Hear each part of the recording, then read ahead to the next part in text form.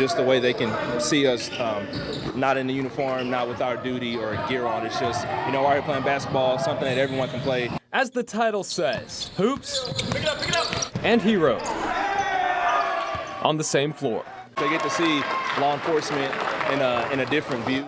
OKC police officers and firefighters laced up at Millwood High School to show kids they can play on the same team. We split up the kids that we had participating in the camp into two teams and paired half of them with the police, half of them with the fire. One of the co-founders told us they wanted to reach out to kids that have specific circumstances. The kids that we were trying to target were um, kids who had one of their parents incarcerated. Through this game, the founders of Hoops and Heroes hope to build relationships with kids that deal with situations they can't control, but they can show off out here. They may not look at uh, police officers in a favorable light, so kind of just setting up something that's kind of friendly but also competitive.